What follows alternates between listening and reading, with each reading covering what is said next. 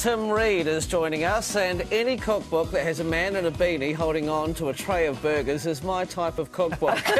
this has just come out today. Tim, thank you so much for joining us here at the cafe. Oh, thanks for having me. It's good to be here. It's lovely to have you here, and I must ask you: Have you been into any bookshops yet and taken a selfie of yourself in front of a display of Tim? Uh, no selfies, but um, I'm getting sent pictures all the time at the moment from friends and family uh, saying they're checking me out in bookstores. It's it's pretty surreal.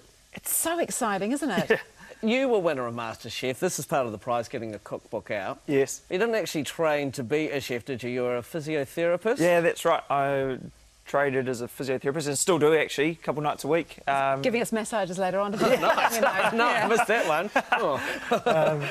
yeah, yeah. But uh, looking to go full time into food. It's it's awesome. Yeah, well, that's what I wanted to know. Is it going to become a full time thing now? Totally, totally. Um, it's been a little bit mix and matchy uh, for now until this book's come out, and then uh, hopefully this will launch me into something food wise for.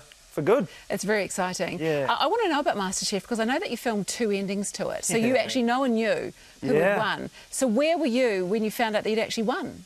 Uh, we actually had about 40 people over to my auntie and uncle's house, and uh, I did a bit of a precursor that uh, if I lost, it's cool, just go. Uh, we'll catch up later. It's fine. we don't have to talk about it now, and we'll catch up. Um, but yeah, I won, and it was awesome to have everyone there, and we celebrated well. It was good. I bet you did. How many times? Because, you know, I'm familiar with reality TV. Yeah. Um, just quite. You are a big gun. but I know some of the girls in The Bachelor, they get to the point where they want to leave. Um, you know, did you get to that point with MasterChef where you want to just throw your apron down and leave because you were sick and tired of it? You weren't getting a rose? yeah, I just wanted to flip and roll.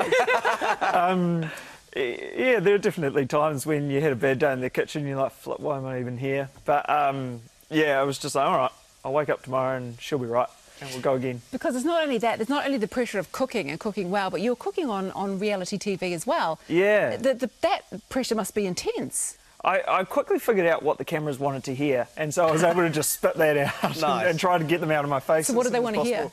Um, what you're cooking right now, what you're working on, and uh, has anything gone wrong? Um, are typically the things they asked, and uh, yeah, a few times things went wrong, but that's the nature of the beast, I guess. Mm-hmm.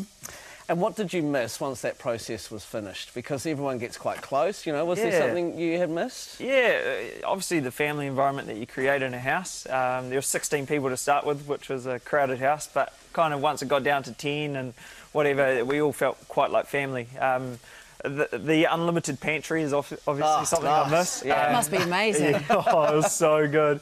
Yeah, but then going to have to buy these products yourself is obviously, uh, yeah, my grocery bill stepped up quite a bit. So I wanted to know though, how did you actually know? Did someone say to you, "You're a good cook," or you know, there must have been somebody that went, "Actually, you should apply for MasterChef." Um, it, it sounds bad, but I just thought it'd be a laugh. Um, I just thought, imagine if I got an apron, that'd be pretty cool. and now you're sitting here with a cookbook. wow. Look at that. Yeah, uh, my personality is to really throw myself at anything that I do, and I work hard, and, and I pride myself in that. And I just wanted to work hard until I was told to go home. I was just never told to go home. So you obviously like cooking with really fresh ingredients and things that you've um, sometimes shot and killed yourself. Yes, yeah, absolutely. What's your must-have ingredient at the moment?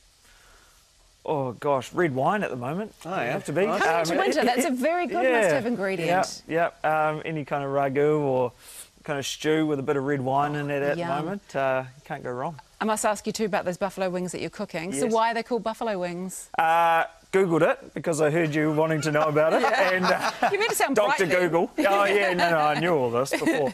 Um, you know, Bar and Buffalo apparently started selling deep fried wings with a spicy sauce. Oh, great. Uh, yeah, and imagine if they uh, they got that registered. So no buffaloes were harmed in the making of those buffalo wings. Good to know. Be a big old wing. And I just wanted to say quickly before we wrap, I really love the fact that in this book, Gather, you've got the basics as well, just really simple things that a lot of people don't know how to do. So this book appeals to both guys and girls, doesn't it? Yeah, absolutely. I, I kind of want the kitchen.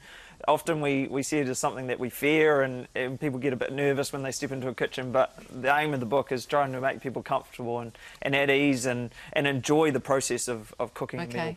So make it nice and easy, something for everybody. You've Yeah. got a book out. Tim, you should be very proud of yourself. Yeah, Tim Read you. Gather in stores right now. Thank you so much for joining us. Appreciate it.